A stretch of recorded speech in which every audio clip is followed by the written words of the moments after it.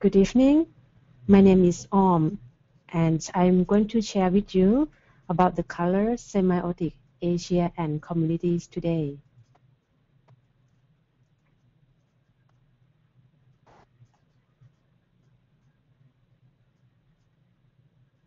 We are aware that color sends signal all the time, and so we have to be sensitive to this.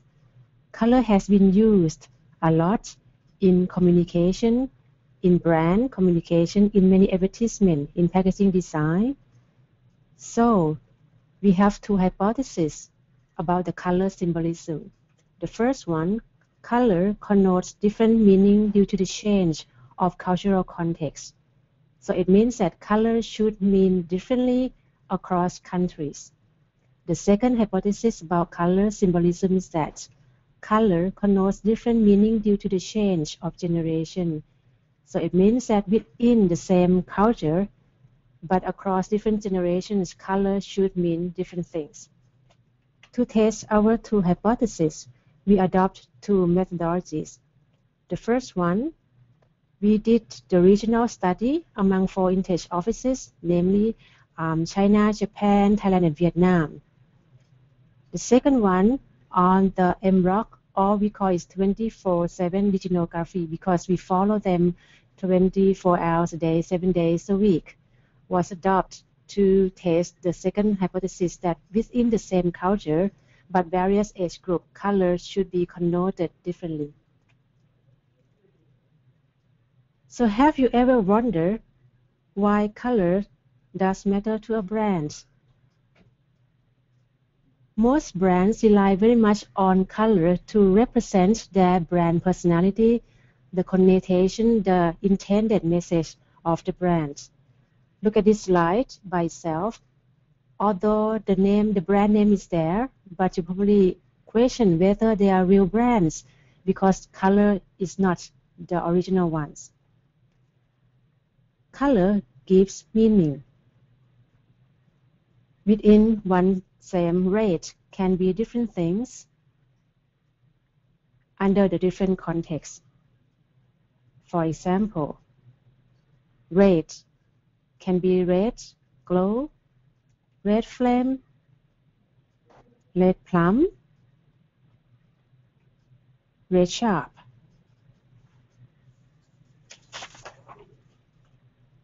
red fresh and red hot. It depends how that red is in, in which context. And red had been used a lot in food category to arouse the needs, to arouse appetite. You can see all these brands use red as their logo because red connotes arousing feeling. Color also enhance memory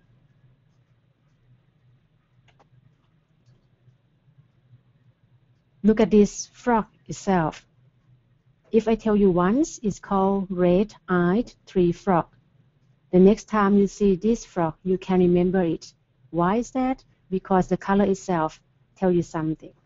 Let's play a little bit of the logo quiz. I would like you to answer to yourself that which logo, which brand are you thinking of when you see this color? Let's start with the first one. I'm sure that a lot of you say that is Maggi. The second one,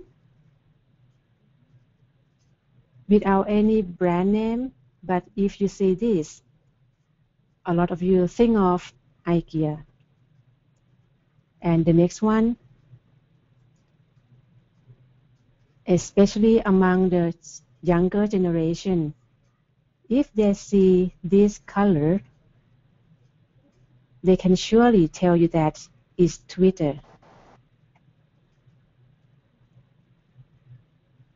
Color not only enhances memory, color matters and it has some figures for you, some numbers on the color. There are various studies saying that color increase brand recognition and visibility up to 80%. Color also improve readership as much as 40%. Color accelerates learning and comprehension to up to 70%. However, what I would like to highlight today is that color is not a static energy. It changes its meaning depending on context. It portrays both conscious and subconscious messages across culture, across generation. Look at this red dot, for example. The red dot itself, if it is in the rectangular shape like this, you think of the Japanese flag. If it is on the human face, you think of the clown.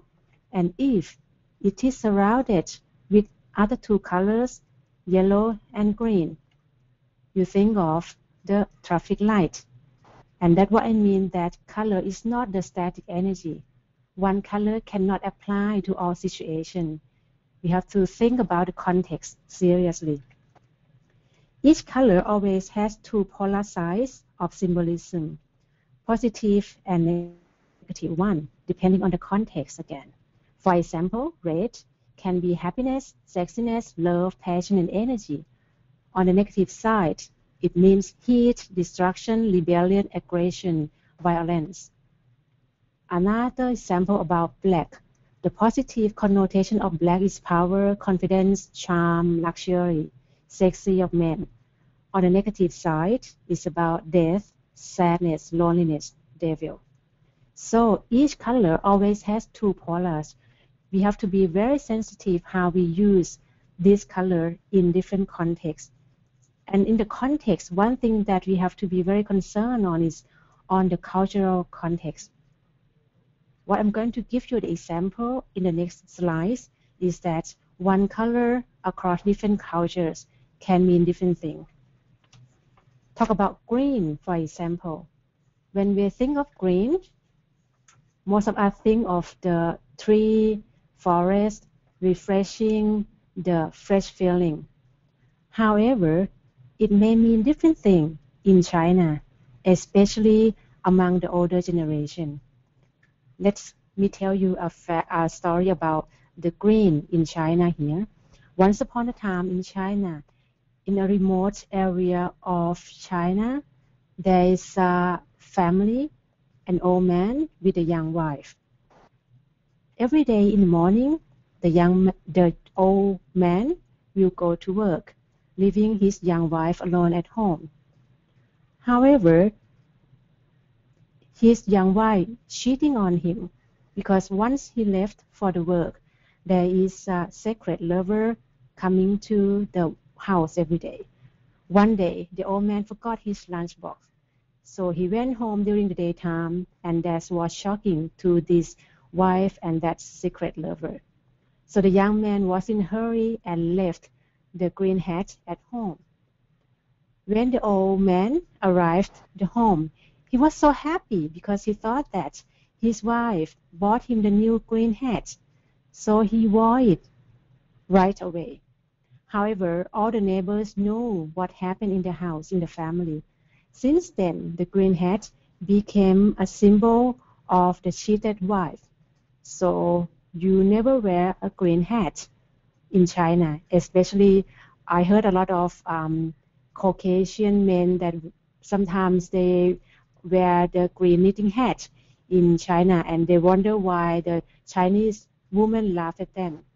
This is something that we have to be sensitive that green can be used in many things, but sometimes it may be sensitive in some context. Another example that we did the original study that one color, for example, blue, means different things in different countries. For example, blue now in China means a new and modern image. It's the opposite color to red, which is associated with traditional Chinese. So the younger generation prefer something blue rather than red. So a lot of brands that if they want to promote their modern image, they will link with the blue color. On the other hand, the same blue in Japan means totally different thing. While in China, the blue means modern and new image. In Japan, the color blue means very conservative. The Japanese link the blue to the mother nature, to the harmony, to the mother nature of earth. The same blue again, for Thai people, we link it to freedom, not modern image. Thailand itself, Thai means freedom. So Thailand means the land of freedom. When we think of freedom, we always think of blue, the sky, the free of problem. And the same blue within Vietnam mean neutral feeling, hope, faith, and peace. So from the example, only one single color of blue within Asia, we still have different kinds of meaning. So it is very sensitive how we use color symbolism across culture, Asia, Europe, America, and versus even in Asia, the four countries have different meanings towards one single color. Color dynamics. We come to the second hypothesis. What's about within the same culture, but across different generations? Will color meaning change across period of time? We adopted MROC to follow the lifestyle and how each generation link to the feeling by color. So we have Gen Y, who those who are around 20 to um, 32, and Gen X 35 to 50, and Baby Boomer 50 plus. What we found out that they have different kind of meanings toward one color. For example, if we ask for black, why the younger generation link black to the 007, the sexy guy, the sporty car, very luxurious, the materialism. The older generation link it to sad, death, loneliness. Another color, white. The younger generation link it to iPhone, iPad, the new high technology.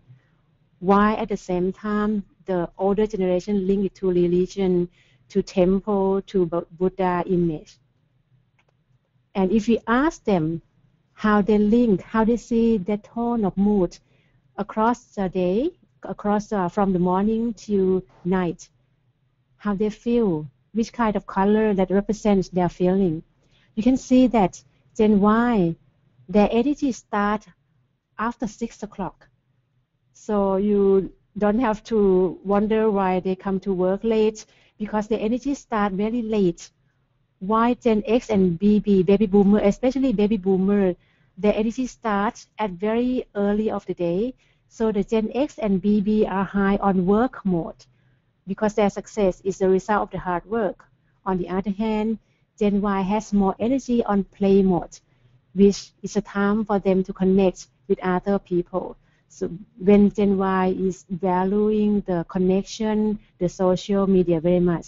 So that's why they pick up the red color to represent their feeling after 6 o'clock in the evening, after work actually. So from all these two examples, we can see that within the same culture, but across different age, different generation, color also signal different things, different connotation. And that's my final remark on decoding color symbolism. Color is very important. It has been used in our daily life. It has been used in the brand communication. It has been used in marketing research, in our analysis, our recommendation to the clients color matters, color differs, and color dynamics. It involves in daily life. We choose which color of dress to wear to project our image. We choose the color of car to buy to project our intended message our, of our personality. Color sales. It is often a subliminal influencer. That's why we have to be able to tell the clients which color of their packaging should be which color of their advertisement um, atmosphere should be, what's in which position their packaging should be positioned in the shelf, whether it should be placed to this similar brand or different brand to make a differentiation. Color tells. It creates the symbolic story of each brand, each logo, and each person which inject into our brand. So we have to be sensitive on color symbolism. It's only one of the, um, the single semiotic techniques that we have to be sensitive. And especially with the MROC, the emerging uh, marketing research online community, you have to be ready to listen, to engage, observe, and absorb 24-7. Thank you very much. And I look forward to your questions.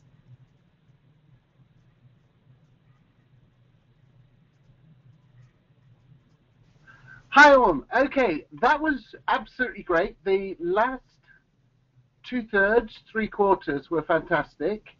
The first right. um, four or five minutes, I think you took a little bit to get used to the system.